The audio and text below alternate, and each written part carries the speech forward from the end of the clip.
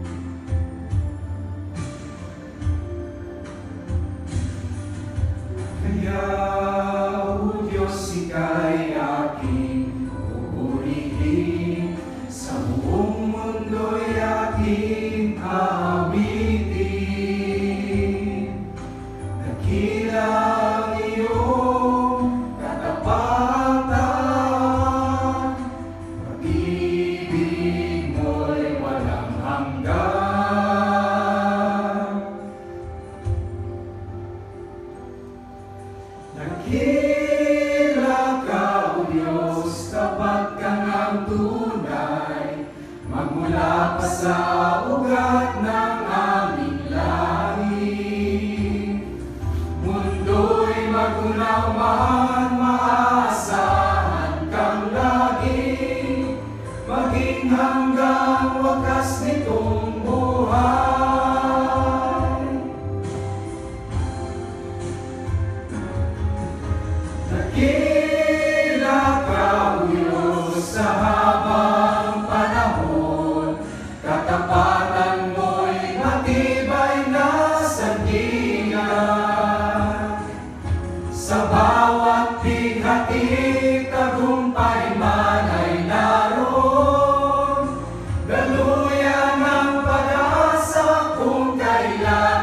did